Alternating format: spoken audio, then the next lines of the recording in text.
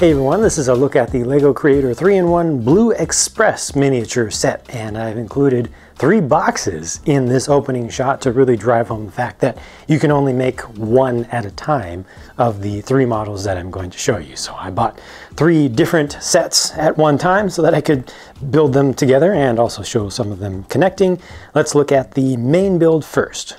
Obviously, it is a steam locomotive and for its scale, I think it looks pretty good. I don't particularly like those wheels myself, but I understand the choice to go with those over the small rail specific wheels because the rail specific ones are much taller than that. Maybe they could have used two of those or two pairs of those larger ones and then, uh, and then one pair of these or something. But you know, it's a little bit of a, a compromise involved.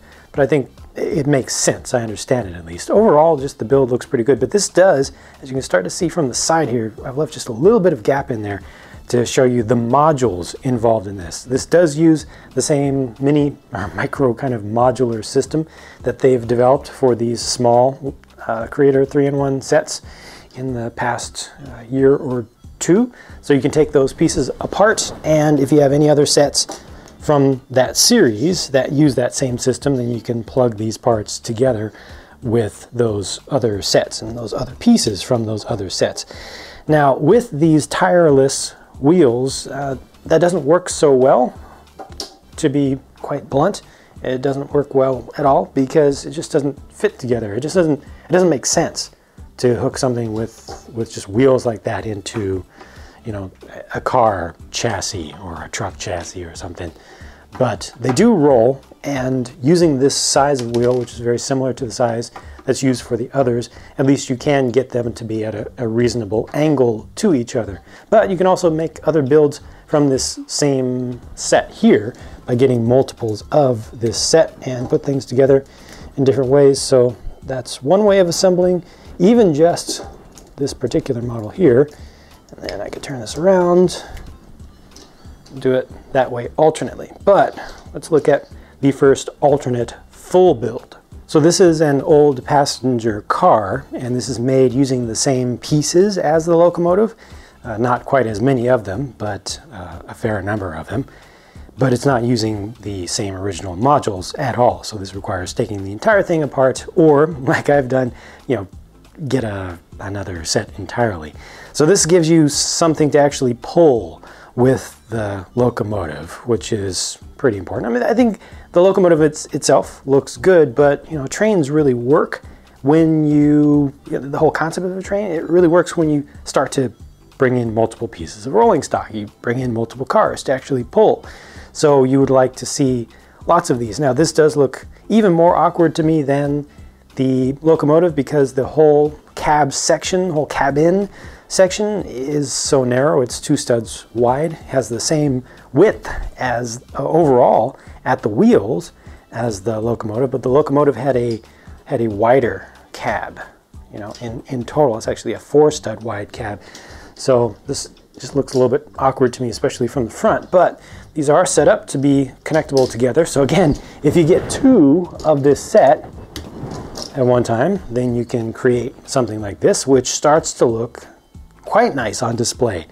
Uh, fortunately, you're not really seeing how thin the car is from the side, so kind of hides some of that awkwardness. So get yet another of this set, yet another of this set, and eventually you have yourself a proper, you know, actual train. And I'm sure that with a little bit of custom work, you can come up with a design for an end car or a caboose of some sort that would look pretty good with this. And, you know, it has the the, the standard ball joint there, so you can just continue to, to add to this as its its own kind of system. And this car build here does use the, the modular system of sorts to allow you to add something else in between there if you want. So let's just test that out as it is right now. I'm just going to add in a piece of the locomotive instead in the center there. Hmm almost starts to look like a like a commuter train like this is just the, the front of it here or something I feel like it still needs more of something and also you know this here won't work anywhere other than the end because it doesn't plug in This here won't work anywhere other than the end. So just more limitations to the, the modular system. Let's look at the final official full build. So this is trying to look kind of like a diesel electric locomotive of some sort. Um, not sure exactly what it's going for, but you can see the, the cab section of it and the front is here on, on the left. Uh, this one is probably the most of a, a, stretch for me to, to just see visually. I think it's the least interesting looking. It's got the, the long hood going across the back, which makes sense. And, you know, they try to bring in some detailing in it. But overall, I'm personally just not that satisfied with this design here. I think it, it could have looked better. I don't know if they could have done something that looked markedly better with these same parts, but just as kind of a value add. Here's another thing that you can do with this set. Mm, I don't know, mm, not, not the greatest thing, uh, just to me personally. They did, you'll notice, have the, the coupler, not the ball end, but the opposite of a ball end on the back of this one, as opposed to what they did for the steam locomotive. And the idea there is that if you do get three of this set in order to build all three at the same time, then you can turn this into an end vehicle or end car. So that'll snap together, this will snap together, and then you're able to come up with a, a whole train of sorts, of sorts. I think it makes a lot more sense just to make another one of these. And you do end up with a bunch of extra parts if you make the passenger car. So maybe you can do some customizations with that or you kind of add to the center of it or add to the, the locomotive at the, the front if you want. The whole thing does kind of fit across a four stud wide track setup, but it really kind of straddles the tracks rather than running the wheels on the tracks. And if you get to a turn, if you set up a, a turn using the pre-built curve pieces that LEGO has available, that doesn't work very well because then it just isn't able to straddle it anymore at all. So in summary, I think that the main build for this set looks pretty good for its scale. I think that the modular system of the different parts that you can pull apart and attach to other modules from other sets really doesn't work very well.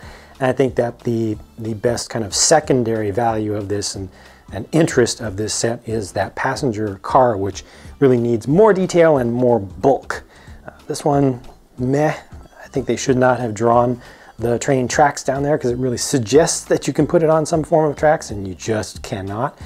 But uh, overall, yeah, I think this is good, but the rest is so-so. Just my personal opinions though. Let me know what you think. Share your thoughts in the comments down below, and I'll talk to you again soon.